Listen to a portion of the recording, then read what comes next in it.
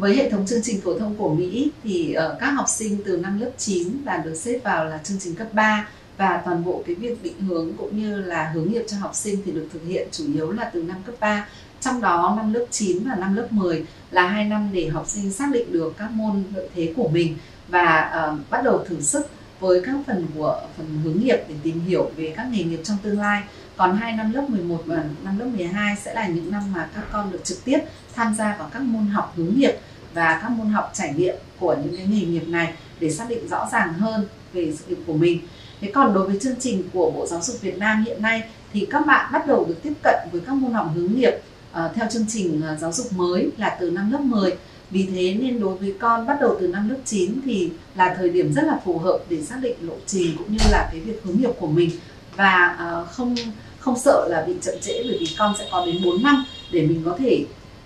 thử sức uh, trong rất là nhiều các cái môn học cũng như là các cái phần hướng nghiệp để mà lựa chọn được cái nghề nghiệp phù hợp nhất cho con khi bước vào đại học.